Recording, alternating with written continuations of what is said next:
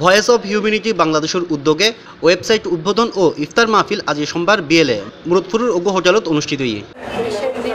সংগঠনের প্রতিষ্ঠাতা এম আবুল হাসানের সভাপতিত্বে প্রধান অতিথি আসিল সি প্লাস টিভির editor in chief Alamgir Opu. পৃথিবীর যে বড় বড় অর্গানাইজেশনগুলো আছে, সবগুলো অর্গানাইজেশনেই কিন্তু এক সময় খুব ছোটই ছিল।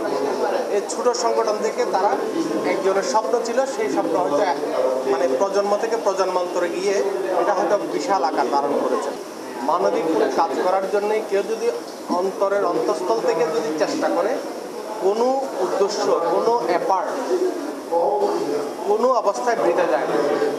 আপনি যে কোনো কাজ করেন,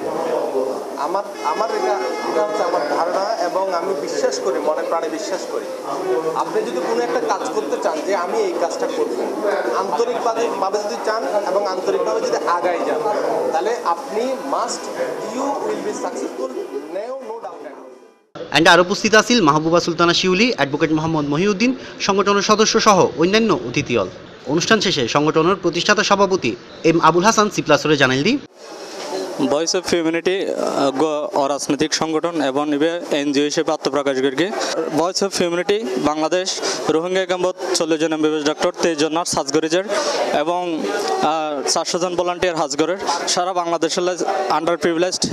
স্টেট চিলড্রেন যারা আছে, তারা হাজগরির পথ শিশু হলাই এবং সার্গো ডিপার্টমেন্ট আর হাজগরির ফ্রি আনি সহায়তা দির। এবং প্রত্যেকটি উপজেলার ধরে একশো জন গরিব গরিব মহিলা রোগী হলে ডায়াবেটিস পরীক্ষা করার এবং ফ্রি ট্রিটমেন্ট দিয়ে মেডিকেল ক্যাম্প করে সেমিনার করে ডেক্স news C plus TV Chittagong